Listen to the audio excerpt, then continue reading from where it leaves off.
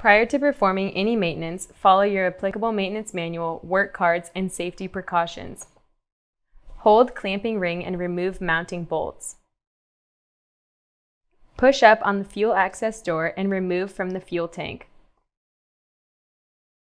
Thoroughly clean the fuel tank opening with a clean solvent dampened cloth. Follow immediately by wiping with a clean, dry cloth.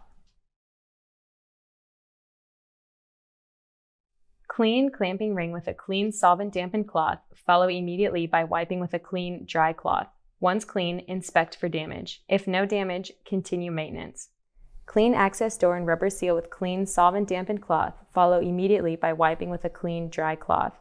Once clean, inspect door and seal for damage. If no damage, continue maintenance. Remove the applicable AVDEC fuel tank panel gasket from the package. Carefully remove release film from the exposed side of the gasket.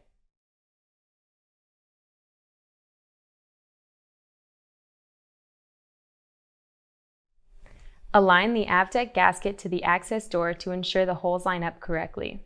With the gasket in place, take the clamp ring and place on top of access door and gasket, countersink holes up, ensuring the holes line up correctly, then carefully remove the clamp ring and gasket together and place upside down on table. Carefully line up gasket to clamp ring and apply light pressure to adhere gasket to clamp ring. Apply a thin layer of petrolatum grease to rubber seal only. It is imperative that no grease is on the gasket contact area. Place the fuel tank access door in the opening of the fuel tank. Place and hold the gasket and clamp ring in the opening of the fuel tank. Make sure the gasket is correctly installed between the outer face of the door and the wing skin.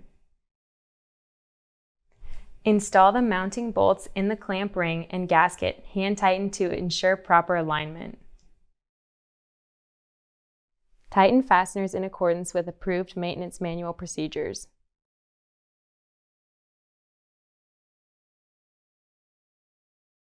Thoroughly clean area with clean solvent dampened cloth, follow immediately by wiping with a clean dry cloth. AVDEC gasket must be replaced each time the fuel access panel or clamp ring are removed after the aircraft has been fueled. Area the gasket comes in contact with must be free and clear of dirt, debris, grease, and any other contaminants. Always follow your maintenance manual instructions to ensure safe and correct procedures are adhered to.